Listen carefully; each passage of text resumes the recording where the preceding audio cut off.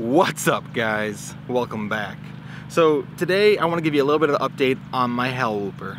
So if you guys remember this one from such great films as introducing the Hellwhooper, the micro brushless um, quadcopter, I actually I don't remember what I called it. So um, if you remember this from my previous video, um, I was using some different motors at the time and I wanted to give an update of the motor swap that I did. So if you remember from before, I was actually running Racerstar BR1103 10,000 kV motors. And at the time, I thought it'd be a great idea to try a 3S battery and say, let's really kick this thing into high gear, let's get more power, and let's shoot it off into the sky. And um, if you guys remember from that lesson, it didn't work out so well. It flew for about a minute, burned up two of the motors, fried an ESC, uh, wasn't worth trying.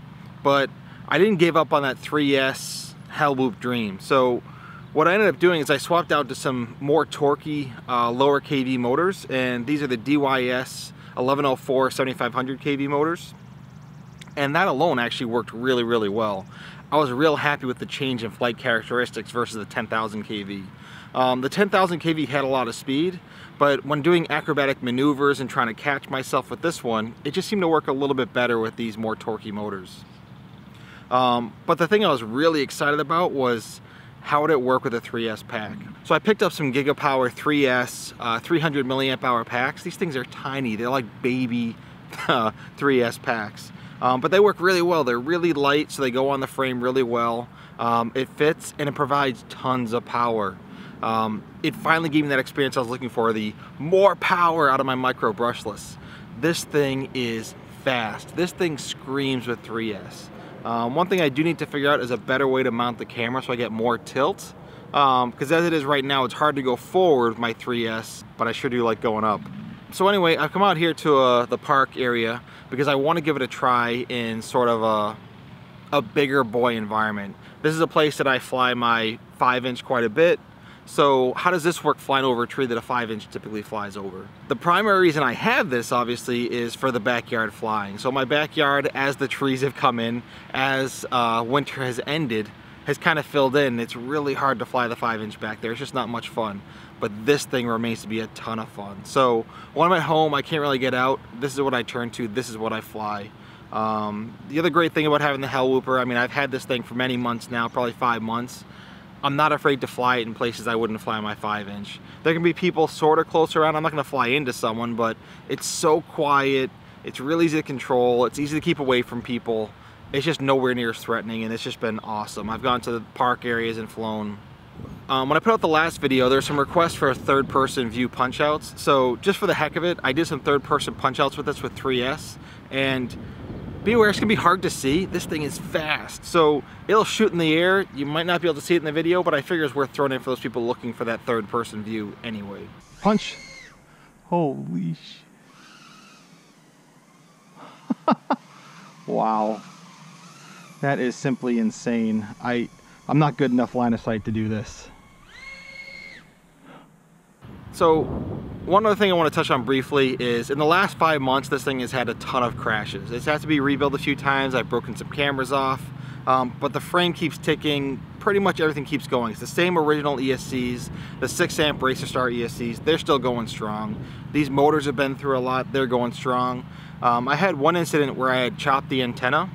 I did a punch out probably 120 plus feet. Had a fail safe. It fell straight into the ground I broke my little standoffs, my uh, nylon standoffs, and that was really it. I was really impressed with the durability of this thing. So definitely more durable than the 5 inch just because it's so light. With the current setup, I believe it's weighing in around 47, 48 grams. That makes for a lot of fun when you have 3S power. So without further ado, let's think, let's get this thing out and see if I can fly over the trees and punch out and pretend like it's a 5 inch. Let's give it a shot.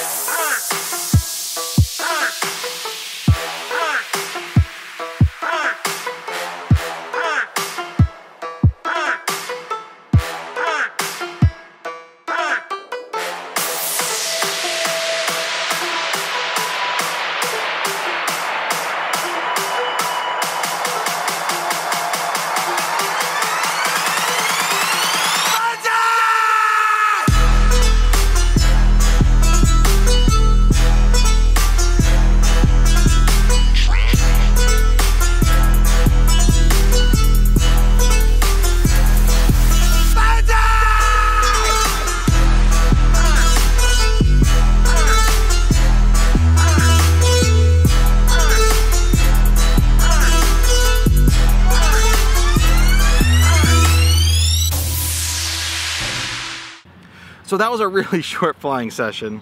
Um, definitely not used to this little cam camera angle. I gotta do something to get it more upright so I can see behind myself as I'm doing my power loops.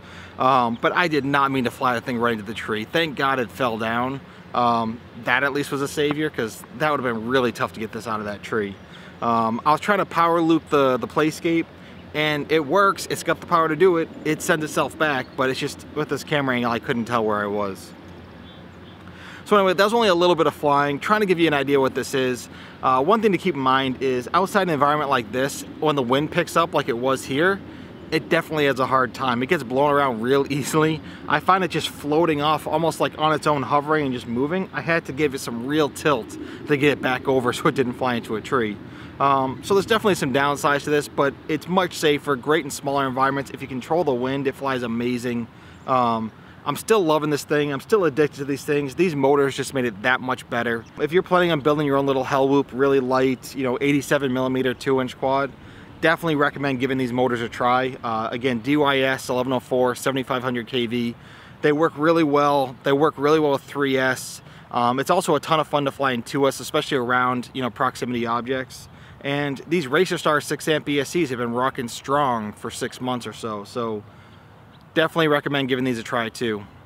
Anyways, guys, that's to pretty much wrap it up. I just wanted to give you guys an update on my uh, Hell Whoop, what's been going on, um, how 3S is rocking. I finally got that more power, adrenaline rush that I was looking for, and uh, I just wanted to share that with you guys. Anyways, I'll catch y'all later. Peace.